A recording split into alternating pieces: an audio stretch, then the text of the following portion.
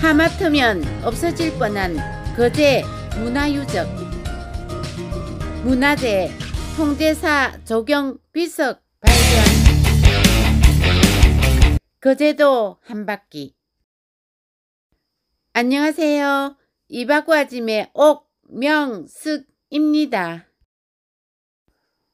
오늘은 거제시 사덕면 오량리 신계마을 팽나무 아래로 가서 107대 조경 통제사, 143대 조심태 통제사에 관련 2022년 8월 13일 신문 거제 타임라인에 기고한 이성철 거제 창가 없어질 뻔한 거제 문화유적 통제사 조경 비석 발견 이에 관련한 중요한 내용을 읽어 보겠습니다. 문화재 4. 통제사 조경 비석 발견 거제군 문화공보실에서 문화재 업무를 볼 때다. 그때 사라져가는 많은 문화유적을 발굴하여 보존하게 되었다. 1971년 4월 8일 거제대교가 개통되고 나서 거제도는 급진적인 발전을 가져왔다. 사덕면 오량리는 거제대교와 2km 지점에 있는 마을이다. 이곳에 거제의 관문을 지키는 오량성이 있다. 이름 봄부터 이 지역의 경지 정리가 시작되었다.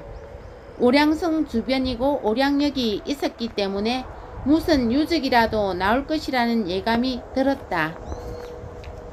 그래서 매일 이 지역을 답사하던 중 1976년 5월 31일 오량리 848-4번지 유덕준의 논에서 도자 앞에 이빨에 비석 한 개가 걸려서 깨어진 채 발견되었다.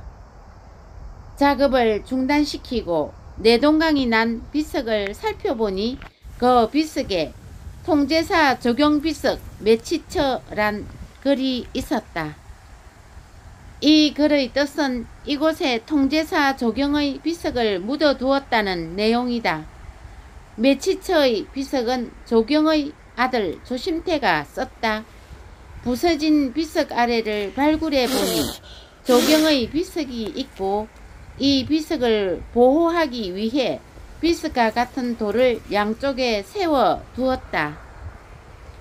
그 비석은 통제사 조경의 아들 조심태가 아버지의 비석을 묻어둔다는 표지 비석이다. 그 비석 밑에 통제사 적용 비석이 있었다. 양쪽에서 비석을 보호하는 돌이 있었기 때문에 통제사 적용 비석은 잘 보존되어 있었다. 비문에 통제사 적용 애휼 역절비라 새겨져 있다. 이 비석의 뜻은 잦은 흉년과 쇠로 오양 영민들이 병이 들고 굶어 죽을 지경에 이르렀을 때 통제사 조경이 우량 영민들을 사랑했던 그 고마운 마음을 이 비석에 담아 오량 역절들이 세웠노라 하였다. 조경은 107대 통제사를 했고 조경의 아들 조심태는 143대 통제사를 했다. 부자 간의 통제사를 한 가문이기 때문에 그 당시로서는 대단한 가문이었다. 그 시대는 반상의 계급 사회로 신분을 중시하던 때라 지위가 높은 통제사의 비석을 천하고 천한 역졸들이 세웠다고 하니 이 비석을 세운 사람들이 천민이라 조경의 아들은 부끄럽게 생각했다. 그렇다고 아버지의 비석을 깨뜨려 없애버릴 수도 없고 난감했다. 비석을 죽은 사람 장사 지내듯이 그곳에 묻고 표지석을 덮어 두었다. 그 당시는 천민들이 세운 비석이라고 부끄럽게 생각했을지 모르지만 지금이야 말로 어떤 비석보다 가치가 있는 비석이다. 조경은 반상의 계급 사이에서도 기천을 가리지 않고 백성을 사랑한 애민정신을 가지고 있었던 지도적인 인물이었다. 비석의 주인공인 조경은 1541년에 태어나서 목가에 급제하여 선정간 제주 목사를 거쳐 1591년 선조 24년 강계부사로 있을 때 그곳에 유배온 정철을 우대하였다는 이유로 파직되었다가 1592년 임진왜란이 일어나자 경상우도 방어사가 되어 황간, 추풍 등지에서 외적과 싸웠고 그 뒤 검산에서 외적을 물리치다 부상을 당했다.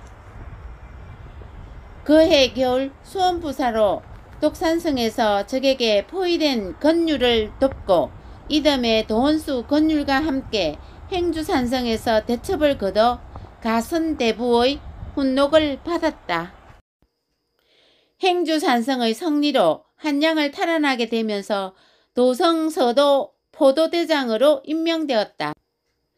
1593년 선조 26년 기효신서의 신진법을 명나라 장수 낙상지의 소청으로 받아들임으로써 새로 편제된 훈련도감 당상을 겸하고 이듬해 훈련대장이 되었다. 그 뒤 동지 중추 부사, 함경북도 병사, 훈련원 도정, 한성 부판윤을 거쳐 1599년 선조 32년 충청병사 해령부사를 지냈다. 조경이 통제사를 할때 오량 영민들을 잘 돌본 공덕을 기리기 위해 오량 영민들이 세운 비석이다.